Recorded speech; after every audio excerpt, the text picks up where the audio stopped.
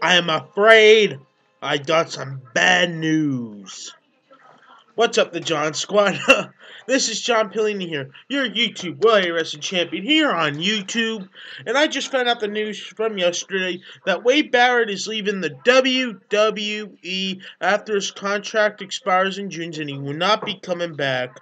What do I got to say about that? What I got to say is about Wade Barrett is an awesome wrestler and he does the bull hammer a lot.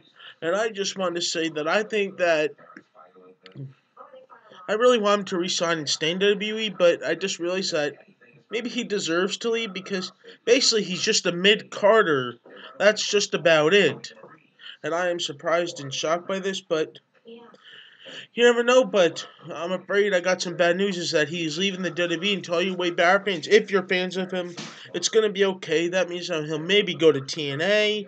He'll maybe do something good. But I realize that that he um got like a lot of injuries in the past, so maybe that's why he's leaving. I don't know what the situation is on this story, but still, though, it's gonna be all right. And I'm sad to see him go, but I'm gonna miss his like this. If you really read down below, I'm afraid I got some bad news.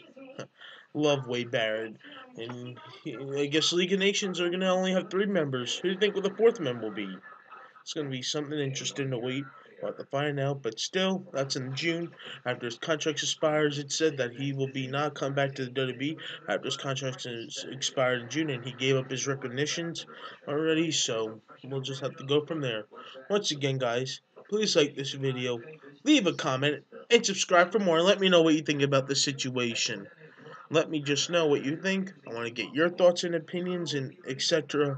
That's about it. Once again, guys, please like this video, leave a comment, and subscribe for more for more videos from the John Squad. I'll see you all tomorrow. This is John Pellini signing off. You're all the best.